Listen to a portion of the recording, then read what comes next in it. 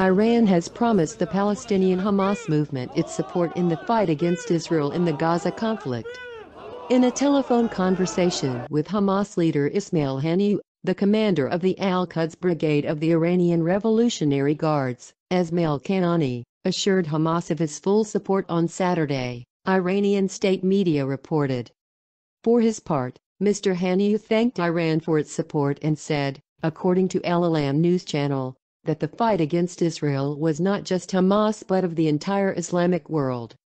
The Islamist Hamas is classified as a terrorist organization by the European Union, among others, and has control of the Gaza Strip.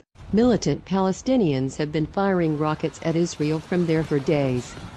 The Israeli army has been reacting with airstrikes on Hamas targets in Gaza.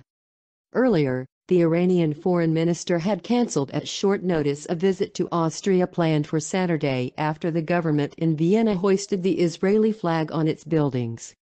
The main topic of the meeting would have been the negotiations underway in Vienna to renew the 2015 nuclear agreement with Iran.